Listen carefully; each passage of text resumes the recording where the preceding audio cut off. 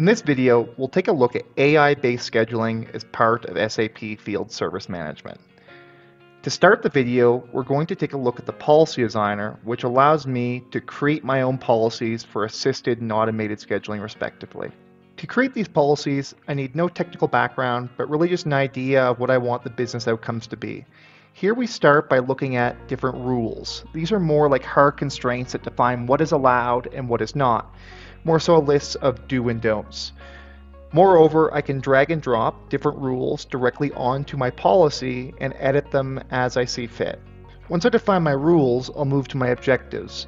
Now, my objectives are more like specific scheduling goals that help prioritize certain jobs, resources, and ultimately certain job technician combinations. Moving forward to the planning board, I'm notified that a high priority order for a pipeline inspection has just come in. Now we're going to put our custom policy to use.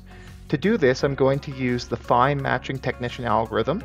And here we're going to select the service policy that we just designed.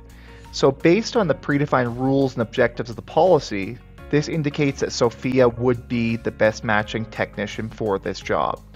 So with that in mind, I'll assign this job directly to Sophia and this shows up on her schedule for the day.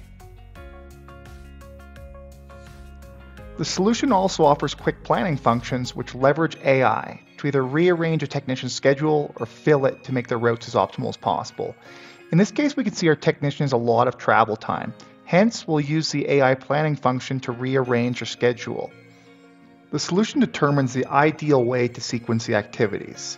Now let's look at the service map to see how the travel time has been impacted. We can drill into all of the technician's activities as well see the new travel times and distance amongst them. There's also the ability to use fully automated scheduling. This means that users can trigger automated scheduling either automatically on request or based on internal or external events or predefined schedules.